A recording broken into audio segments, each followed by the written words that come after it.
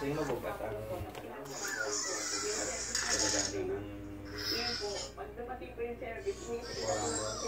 kasi mo kung apurahan na yan mga off-road sige na. Ipilitin ko pong ipagpatuloy lahat yung mga ginagawa ko. Ang naging post yan ang kita Marami ang handang tumulong.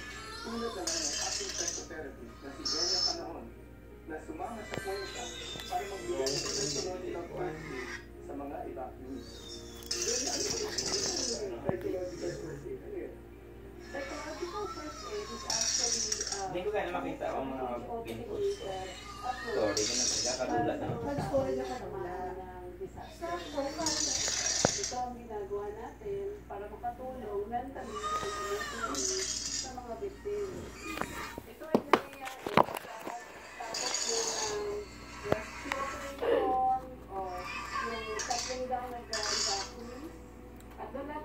Makakapasok na for first aid dahil na sa una na isip ng tao.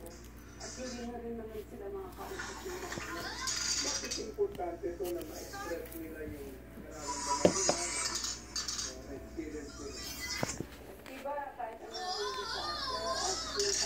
sa tao, sa bahay, sa halo, napakahirap tanggapin. And that. Those are traumatic experiences. Itong mga kababaihan na nakausap ko sa yung mga lalaki na nandun, nakakatuwa sila kasi talagang very resilient ang kanilang approach sa buhay. Nakakaiyak. Pero nakakatuwa kasi strength ng mga tao, yung yung sarili nila sa pag-handle ng buhay, nandun talaga eh.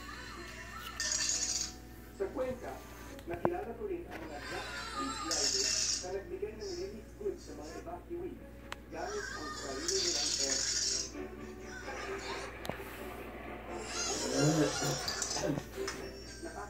Ng puso ang mga kwento ng pagtulong na makikita sa social.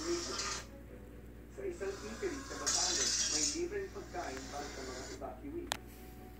Sa General Mariano Alvarez Cavite, may namigay ng. May isa naman mananahi na gumawa ng face mask para ipamigay sa mga evacuee. Sa Palawan City, may lalaking nag-spray ng tubig sa mga sasakyan sa daan para matanggal ang abog.